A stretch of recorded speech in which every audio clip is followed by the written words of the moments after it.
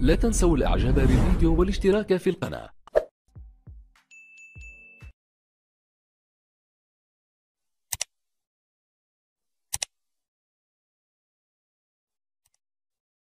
ألف مبروك وعلى ابن أخو حضرتك التخرج.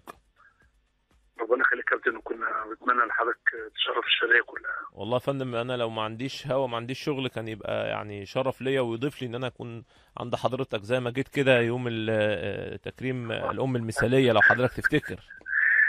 ماشي يا كابتن بس أنت أصل الحاجات دي بتتنسي وما بنجيبش سيرتها. أهل الشرقية بتحبك كابتن سيف ويعني آه، الاعلام الراقي المحترم الواحد متشرف فيه دايما والله. ربنا يخليك فوق دماغي من فوق. أنا سمعت إن مجاهد جالك فعلا؟ دي ولا إشاعة؟ لا مش إشاعة. كابتن هو انت عارف هو بتاع المواقف دي. بتاع المو... أصل شا... سامع عامل لك نداء من شوية وبتاع إن أنت سبت ومشيت وما قعدتش معاه كتير. هو بتاع جبر الخواطر هو بتاع جبر لا الخواطر. هو بتاع هو تحت شعار يقتل القتيل ويمشي بجنازته. تحت شعار أنا ضد اللي موجودين مش مشكلة هم مش هيروح أنا رايح. آه بالظبط كده يعني. أول ما سمعت إن هو جه بصراحة قلت ولو في ذلك حكم. دي الحتت بتاعته صح يا كابتن ربنا يكرمك يا كابتن يعني الأهلي والزمالك هيلعبوا 14 14 ولا 14 و15 آه، كابتن كده كده يعني بعيدا عن عن تدخل اتحاد الكورة ولا الكابتن عامر حسين أنت عارف حضرتك إن الاتحاد الأفريقي بيبقى حريص إن كل الماتشات تبقى عشان البث الفضائي. فطبعا الاتحاد الأفريقي كل نادي بيبعت الثلاث أيام اللي هم آه، آه، الاتحاد الأفريقي بيعرضهم عليه وهم بيختاروا الاتحاد الأفريقي هو اللي بيحط الميعاد اللي يتناسب مع البث الفضائي بالنسبة له. فبالتالي حضرتك إحنا دورنا إن النادي الأهلي طلب التوقيتات دي 13 14 15 ونادي الزمالك نفس المو- الموقف. أعتقد إن الاتحاد الأفريقي هو هيكون ليه الدور في تحديد لأن الماتشين في القاهرة. آه. ولحد دلوقتي برضه كابتن سيف مش معلومة الماتشات هتلعب فين يعني؟ زي ما أنت عارف الأمور بتبقى في شوية قرارات معينة كده وحاجات آه، آه، أمنية. فبالتالي حضرتك صعب جدا إن الماتشين هيتلعبوا يوم 14 فاللي هيحدد الميعاد آه، آه، 14 و15 هيكون الاتحاد الأفريقي. مستر مانويل آه، جوزيه عنده مشاكل وعنده مشاكل مع طبعا عنده مشاكل صحية وعنده كمان تعب آه، زوجته فهو ما بيقدرش آه، يكون موجود رغم إنه نقل حياته كلها إلى آه، مصر لكن بنهي هذا الأمر بنهي هذا الأمر لجمهور النادي الأهلي مانويل جوزيه لن يكون المدير الفني للنادي الأهلي؟ مانويل جوزيه قد يكون المستشار الفني لنادي الأهلي؟ تمسك بقراره في الاعتزال الفني وبسبب ظروفه ولكنه وافق على الفور أن يتولى المستشار الفني للنادي الأهلي. آه، فده علشان امبارح الكلام كله والنهارده على السوشيال ميديا الحديث عن مانويل جوزيه المرشح الأول للمهمة هو الأرجنتيني دياز وطبعا في خطة مفتوحة لتولي المهمة ولكن له طلبات تقف عائق أمام إتمام الصفقة ومنح لقب المدير الفني لنادي القرن فهو طلب أن يكون الجهاز الفني بالكامل معه من الخارج وهو في تحفظ طبعا من النادي الأهلي لرغبة في تواجد عنصرين مصريين على الأقل أو عضو كمدرب عام وأيضا مدير الكره وهذا مازال محل تفاوض معه ولكنه لن يقف عائقا كبيرا. هو المبلغ ده المبلغ اللي طلبه هو ده اللي هيقف عائق.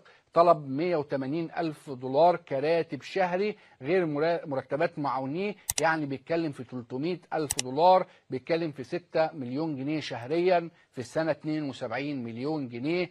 وطبعا آه، حط كمان شرط جزائي غريب جدا طلب سنة كاملة. يعني لو النادي الأهلي بنسمع شهرين بنسمع ثلاث شهور دياز قال لا أنا عايز آه، مرتب آه، كامل. ال- المرشح الثاني لو الأمور ما تمتش وما انتهتش هو دي صبر آه، المدير الفني لمنتخب أوغندا والسابق لنادي الإسماعيلي اللي كان رشحه مستر مانويل جوزيه. وما زال الأمور لسه ما انتهتش. هل بالفعل مين هيكون المدير الفني؟ لكن ده كان مهم جدا وانفراد لبرنامج كلام في الكرة أن مانويل جوزيه لن يكون المدير الفني للنادي الأهلي هو مستشار فني وشارك في جميع الاختيارات. عايزين تعرفوا إيه بقى؟ عايزين تعرفوا إيه تاني أقول لكم؟ عايزين تعرفوا اللاعبين. النهارده كان في آه، جلسة مع آه، أحمد حجازي أحمد حجازي وفي مفاوضات مع أحمد سواء بالإعارة أو بالبيع وإن كان مجلس الإدارة طبعا لارتفاع أسعاره سواء هو سعره هو ورمضان صبحي في كلام مع الاثنين أحمد حجازي أبدى موافقته إنه يرجع للنادي الأهلي ورمضان صبحي تمسك أيضا بالعودة للنادي الأهلي لكن هيدر سيف- سيفيلد طالب 3.5 مليون دولار يعني ما يقرب من 70 مليون جنيه وأيضا الثاني طالب برضو مبلغ آه، كبير. آه، وست برونش طالب من حجازي مبلغ 3 مليون دولار. فالموضوع صعب جدا على النادي الأهلي فبيتكلموا في الإعارة. ولكن بنسبة 70% وما يقرب أن حجازي ورمضان صبحي هيكونوا موجودين إن شاء الله مع النادي الأهلي على سبيل الإعارة وليس البيع. لأن الجهاز الفني في النادي الأهلي ومجلس إدارة النادي الأهلي يعني ما عندهمش أي مساحة من الحرية إن هم يخسروا بطولة أفريقيا السنة اللي جاية اللي هتنتهي في شهر خمسة. فعندهم إصرار على الاحتفاظ بهذه البطولة. ويمكن أنا كمان برشح لهم لو هم عندهم إصرار فعلا ومش مهم يعني أهم حاجة الست شهور دول عندك آه، مهاجم داخل مصر في أحمد علي لاعب آه، نادي المقاولين مهاجم كويس جدا ويقدر يديك سنتين مش آه، ست شهور بس ويبقى إضافة قوية في خط هجوم النادي الأهلي وأفضل من عمرو مرعي وأفضل من مهاجمين كتير وأفضل كمان من مروان محسن بصراحة. مهاجم قوي جدا ويقدر يديك السنتين دول على أعلى مستوى. لكن بكلمكم عن الاختيارات الفنية للنادي الأهلي بقول لحضراتكم إن أحمد حجازي أحمد حجازي وده انفراد لبرنامج كلام في الكورة وهيسافر له هيثم إلى لندن وبتكلم طبعا على حجازي بحريتي لأن عارف إن حجازي مش هيلعب في مصر غير للنادي الأهلي ومثله رمضان صبحي مش هيلعب في مصر غير للنادي الأهلي. آه الكلام على البيع أو آه، أو الإعارة لكن الإعارة هي الأقرب 500 ألف دولار لكل لاعب. يعني بتتكلم في مليون دولار 19 أو 18 مليون جنيه مش آه، مش آه، يعني مش رقم كبير على لاعبين دوليين زي حجازي ورمضان صبحي. وهيكونوا إضافة قوية جدا للنادي الأهلي لو الصفقتين تموا.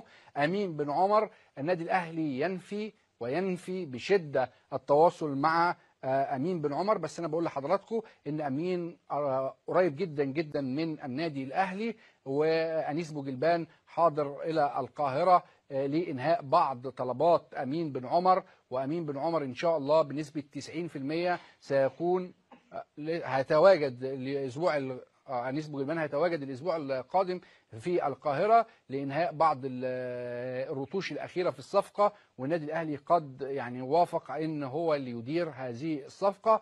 أمين بن عمر عنده رغبة أكيدة للعب في النادي الأهلي ومحبذ الفكرة جدا. طبعا هيكون إضافة مش إضافة قوية إضافة عبقرية لخط وسط النادي الأهلي. لاعب شويط مهاري حريف آه، متحرك آه، 25 سنة يقدر يدي النادي الأهلي خمس سنين بأريحية شديدة. لاعب كويس جدا. لاعب كويس جدا. هل أنيس بوجلبان هيقدر ينهي معاه الصفقة ويحضر للقاهرة في الموعد المحدد؟ ولا الأمور هترسى على إيه؟ لكن في مفاوضات ومفاوضات قوية جدا مع أمين بن عمر. محمود وحيد ظهير أيسر الم- آه، المقصه بالتأكيد في الصورة بقوة. واللاعب طبعا رفض الانتقال إلى بيراميدز ورفض الانتقال لنادي الزمالك. وقال أن رغبته الأولى والأخيرة بلغ له محمد عبد السلام تجمعني بيه صداقة قوية. قال له أنا مش هلعب إلا في النادي الأهلي. وقلنا اللي هو محمد عبد السلام خليك حنين كده مع النادي الأهلي. آه، لأن النادي الأهلي آخر عرض وصل له. طبعا كان طلب 15 مليون جنيه عشان تبقوا فاهمين. طلب 15 مليون جنيه وطلب إعارة ميدو جابر وطلب صبري رحيل. يعني طلب صبري رحيل بيع نهائي وباسم علي وميد- وميدو جابر إعارة سنة و15 مليون جنيه وثلاجة كريازي وسندوتشات برجر. تقريبا ويكتبوا له النادي الأهلي باسمه لمدة ثلاث سنين. لكن المفاوضات واصلة ليه؟ إن النادي الأهلي عرض مفاوضاته الأخيرة هي 5 مليون جنيه مع بيع صبري رحيل وإعارة ميدو جابر سنة كاملة. النادي الأهلي آخر عرض وصل ليه اللي هو محمد عبد السلام 5 مليون جنيه وبيع صبري رحيل بيع نهائي هيوحشنا الله يا صبري آه وعرض آه، سنة إعارة لميدو جابر. ده النادي الأهلي وأنا شايف إن كده العملية زي الفل. يعني النادي المصري المخصص يخلص الموضوع لكن صبري وباسم وميدو 15 مليون جنيه أنتوا مش هتبعتوا لنا روبرتو كارلوس. يعني مع احترامي الوحيد.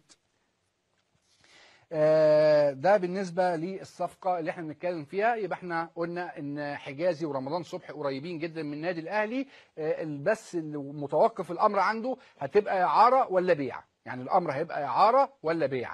آه، النقطة الثانية آه خلاص آه اتكلمنا محمد محمود لاعب وادي دجلة خلاص بقى لاعب في النادي الأهلي. آه الأهلي متمسك جدا بحمدي فتحي لاعب آه إنبي.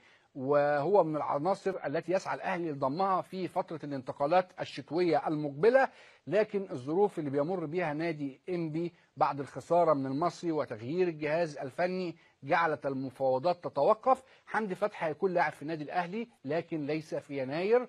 آه، طاهر محمد طاهر هيكون لاعب في نادي الأهلي ولكن ليس في يناير. هو حتى الآن ما عندوش صفقات من بره أو ما عندوش عقود احتراف من بره واللاعب تمسك بالنادي الاهلي بعد رفع النادي الاهلي عرضه مع اللاعب وقال لا إما الأهلي لا إما الاحتراف ورفض عرض بيراميدز ورفض عرض نادي الزمالك. إذا طاهر وحمدي فتحي على مسؤوليته الشخصية قد يكونوا لاعبين في النادي الأهلي لكن بنهاية الموسم وليس في يناير. الصفقات اللي النادي الأهلي بيحاول ويسعى إلى إنهائها رمضان صبحي أحمد حجازي أمين بن عمر باهر المحمدي موجود في الصورة بقوة آه، أكتر كمان من آه، محمود متولي. هنشوف آه، النادي الأهلي هيقدر النادي الأهلي كمان بيتفاوض مع عواد ولكن عواد هيبقى صعب جدا. ده لازم له مصالحة ومصالحة تقيلة من اللي أنتم فاهمينها ولو المصالحة تمت يجي عواد وكينو. لكن النادي الأهلي حتى الآن مصر إن هو يعتمد على نفسه وينهي آه، صفقاته آه، بنفسه. ففي النهاية في نهاية هذا الأمر النادي الأهلي اللعيبة اللي خلاص يعتبر بينهي معاهم الأمر هو أمين بن عمر أحمد حجازي رمضان صبحي. وبنعلن اللعيبة لأن اللعيبة عندها الرغبة الأولى والأكيدة هو اللعب للنادي الأهلي وليس أي أندية تانية. آه، سمعنا إن في تحركات دلوقتي لأمين بن عمر إن في أندية تانية عربية تاخده.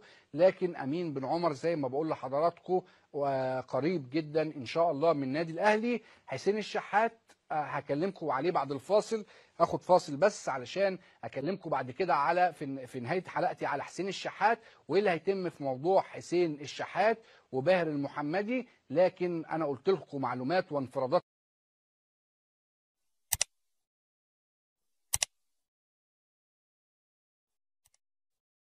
لا تنسوا الإعجاب بالفيديو والاشتراك في القناة.